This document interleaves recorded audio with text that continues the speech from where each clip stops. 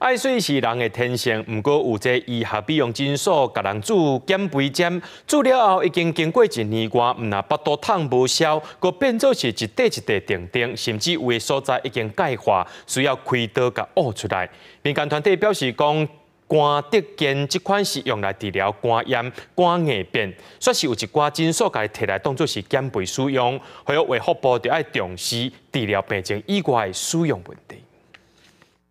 规相片当中，能明显看到手术了后，腹肚肿起来，一个一个所在是落落去。二零二一年三月，陈小姐为消毒腹肚的智能油，伫医鼻诊所建议之下做肝德健消智能油，是未到手术了后超过一年，腹肚慢慢加做四个肿起所在。到大病院看医生了，才知影腹壁脂肪已经害死个有八分形成，一个两个所在已经钙化，只好用手术的方式来切除。目前单小姐甲诊所的拍官司。肝德健的副作用的这个说明，其实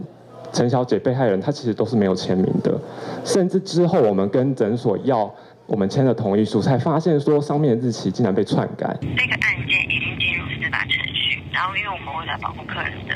隐私，所以我们就不便发言。被判开记者会民间团体表示，肝德健注射剂是用来治疗肝炎、肝硬变，毋是消智能油。同啊，顶管个水平明皮下注射，或者是筋膜注射。虽然医疗院所讲肝德健是用于消智能油，属于适应症外使用，毋过根据卫福部公告适应症外使用原则，爱用伫疾病治疗，而且明广告，呼吁卫福部应该重视医美适应症外使用的问题。还特别告诉你不可以皮下注射的，那我们是用在皮下注射，